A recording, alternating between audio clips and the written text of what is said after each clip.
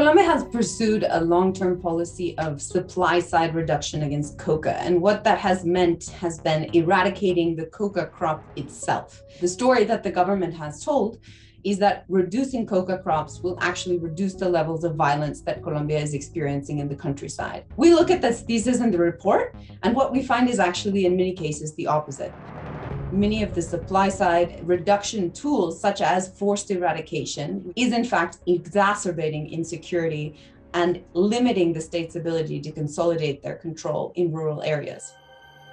The 2016 peace agreement with the leftist guerrilla, the Revolutionary Armed Forces of Colombia, or FARC, imagined an ambitious rural reform and a voluntary substitution program that would help coca farmers switch to legal business.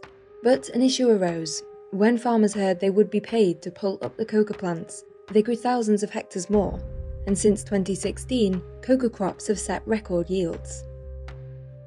The government's response has been to dramatically increase eradication, sending security forces to rip out the crops by hand.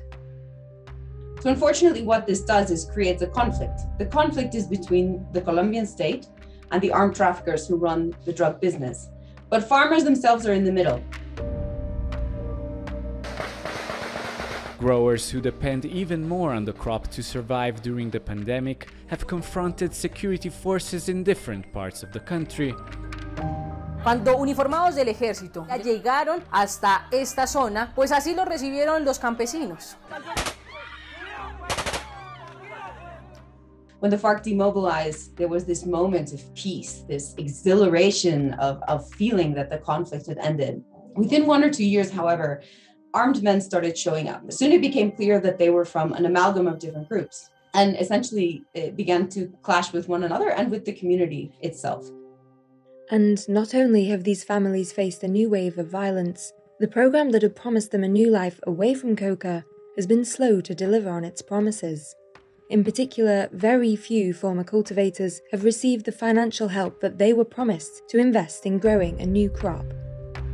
La experiencia sobre el programa del PENIS, pues eh, nos, nos ha traído buenas experiencias, pero también muchas eh, malas, más malas que buenas, porque el programa cuando se inició venía con un tema y ahorita ya nos están cambiando las propuestas.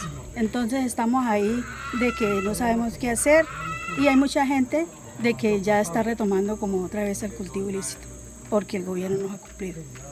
Many families who grow coca don't want to be growing coca.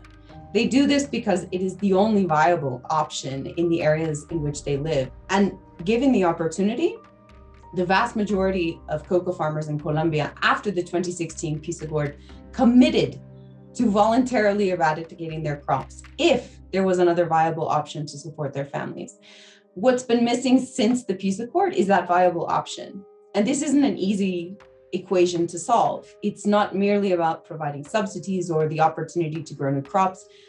It's about creating an environment in which a legal economy can function, which means access to markets, it means better roads, and frankly, it means security, which is something that has been deteriorating in recent months and years since the peace accord.